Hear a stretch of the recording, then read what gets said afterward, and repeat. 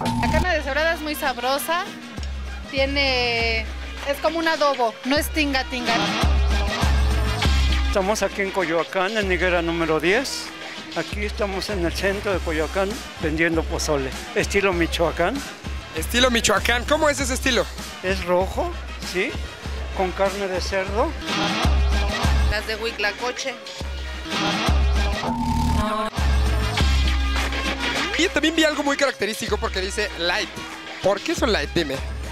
Porque no tienen grasa, son alcomal.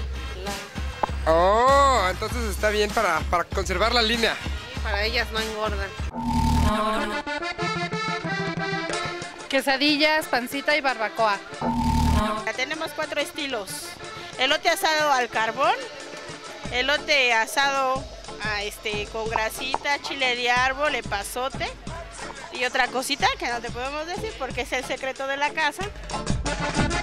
Ellos hacen hot cakes con figuras de animales, de personajes de caricaturas, cualquier cosa.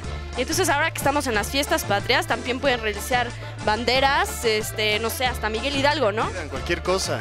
El retrato de Miguel Hidalgo o José María Morelos y Pavón, lo que ustedes pidan.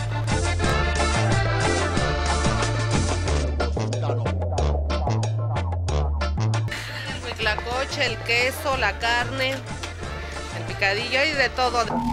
Bueno, Luis, hemos llegado al final de nuestra emisión, pero cuéntame, ¿cómo te la pasaste? Muy bien, ¿eh? Comí muy rico. Muy bien. Y bastante, ¿no? Sí lo noté, la verdad sí comiste bastante. Pero la verdad es que está muy, muy rico, ese sabor mexicano que a todos nos gusta. Y espero que ustedes lo hayan disfrutado igual que nosotros. Y pues nos veremos en nuestra próxima emisión, ¿no? Yo soy Luis. Yo soy Estivalis. Y nos vemos en la siguiente emisión de... Lotería.